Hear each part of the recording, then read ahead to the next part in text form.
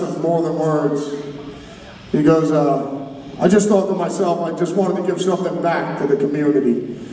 And being that uh, he's the fine Portugal Catholic that he is, he decided to try and come up with a cure for herpes, gonorrhea, syphilis, lice, and everything else that goes on in our community. So God bless him. Once again, give it up for the Boston Barbarian, Father